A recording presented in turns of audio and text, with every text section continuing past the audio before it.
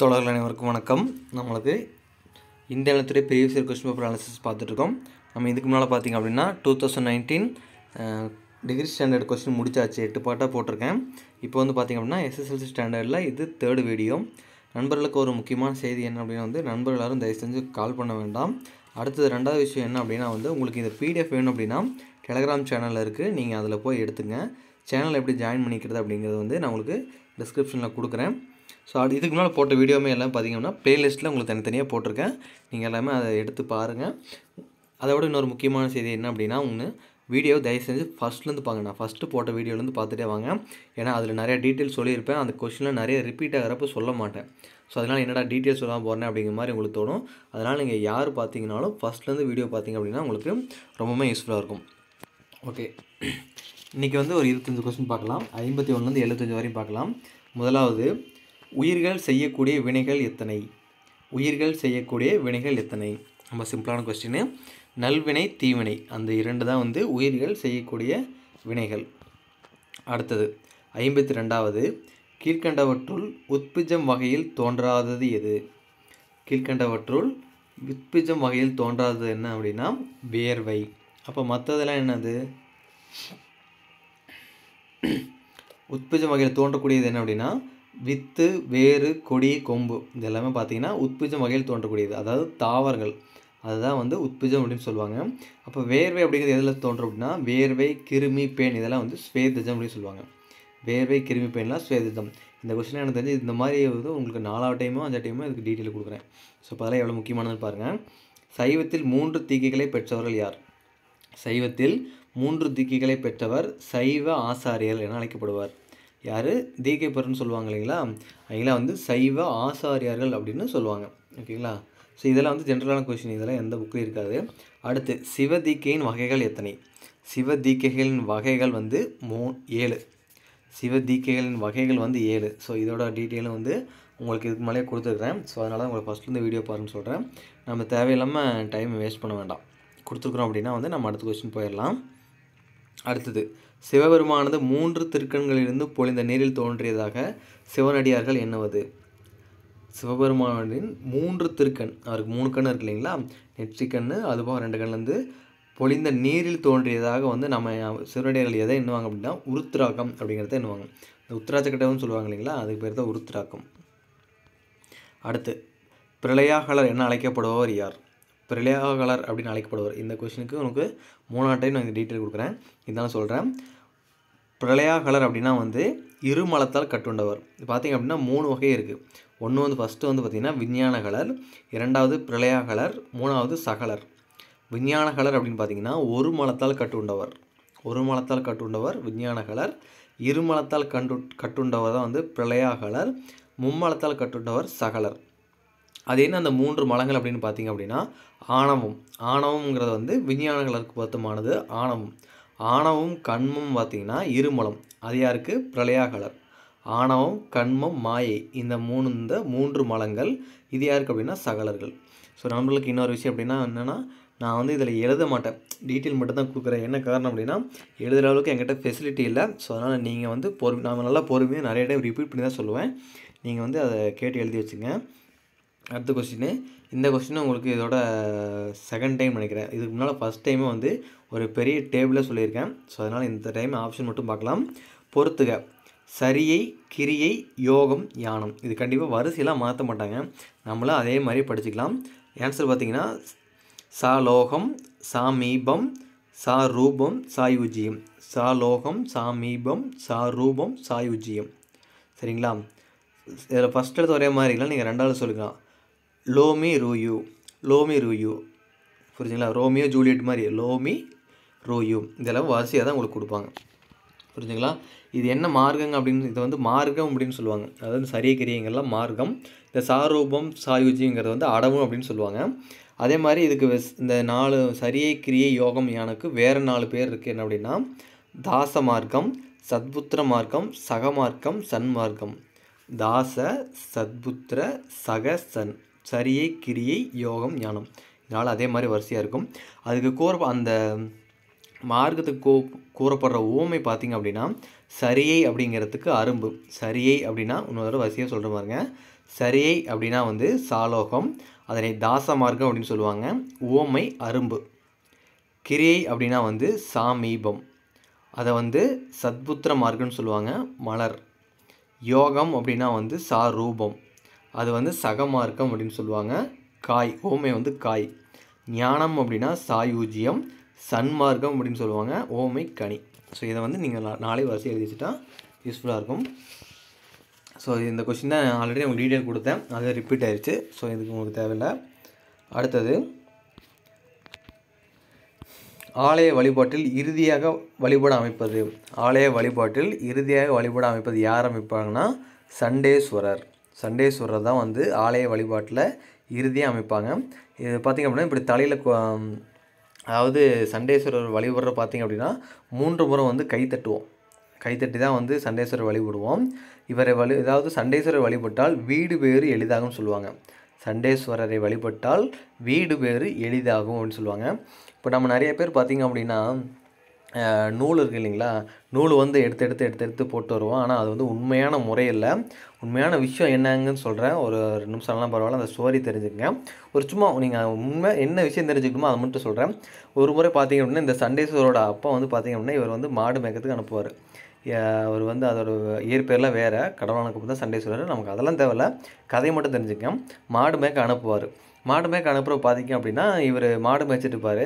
மாடு மேய்ச்சிருக்கு பார்த்தீங்க அப்படின்னா ஒரு ஆற்றங்கரை ஓரத்தில் ஒரு மணல்லையே அப்படியே ஒரு லிங்கத்தை செஞ்சுருவார். லிங்கத்தை செஞ்சு என்ன பண்ணுவார் அப்படின்னா வந்து அந்த பாலை கறந்து லிங்கத்துக்கு ஊற்றுவார் பாலை வந்து அப்படியே மாடு நின்று கறந்து ஊற்றுவார் ஸோ அந்த சமயத்தில் பார்த்தீங்க அப்படின்னா எங்கள் அப்பா வருவார்.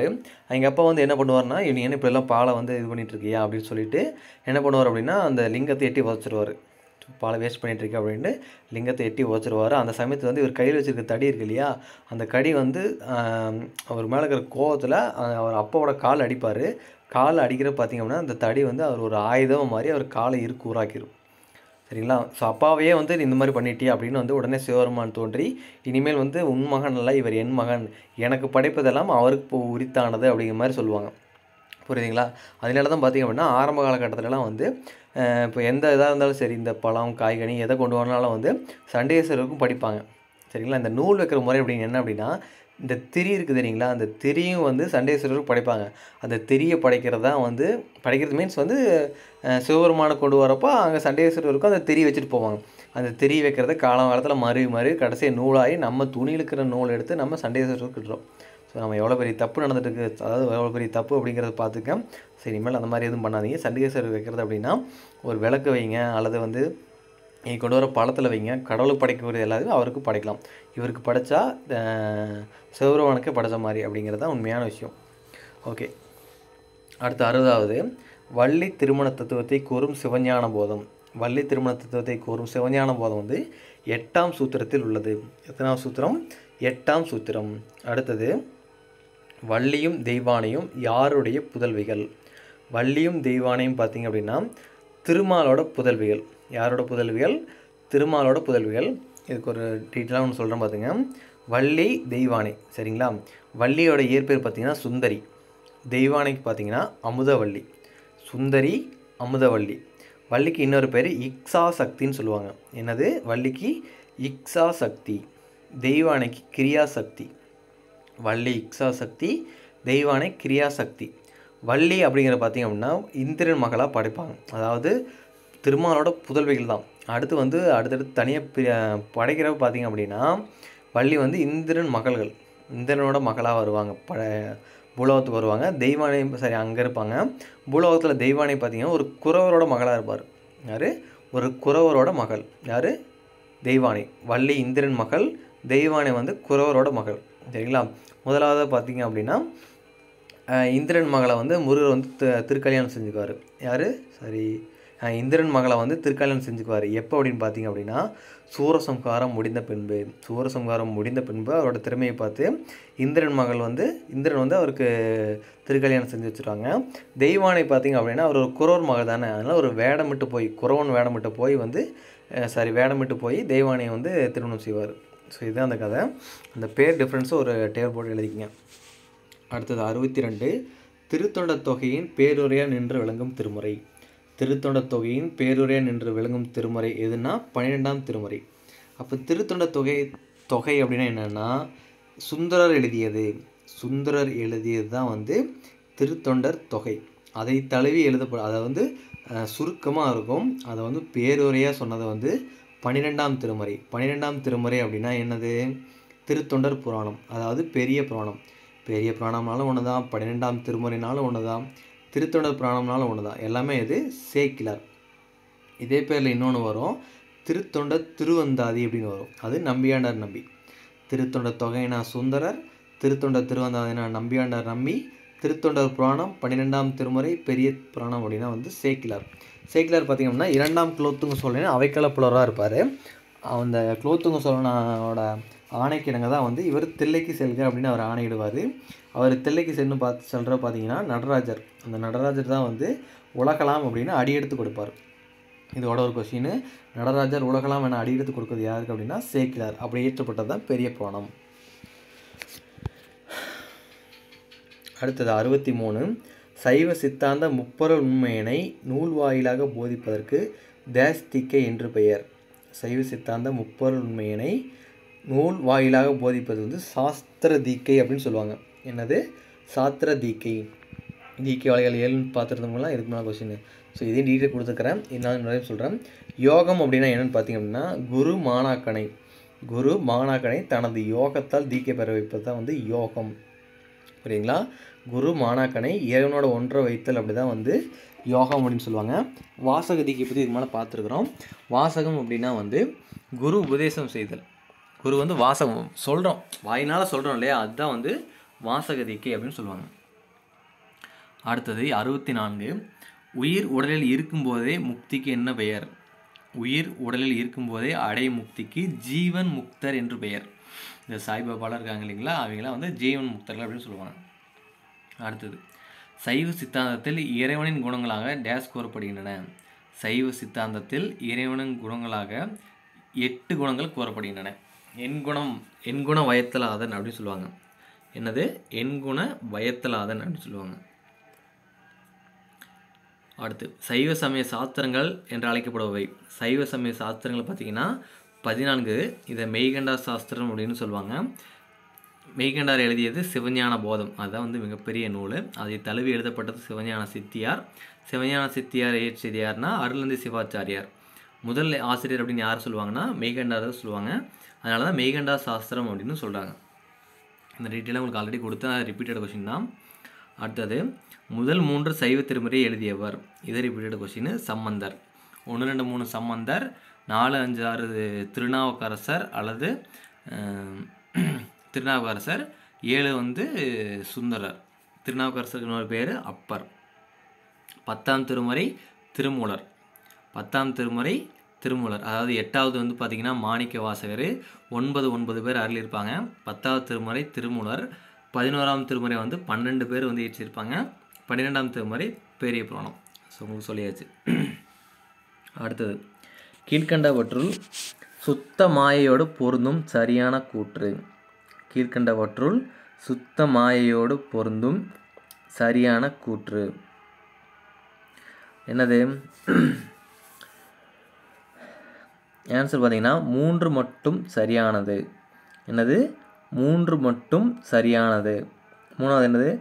மயங்காது நின்று பேரறிவையும் பேராற்றலையும் பெற உதவுவது சுத்த மாயை ஆகும் மயங்காமல் நின்று பேரறிவையும் பேராற்றலையும் பெற உதவுவது சுத்தமாயை ஆகும்.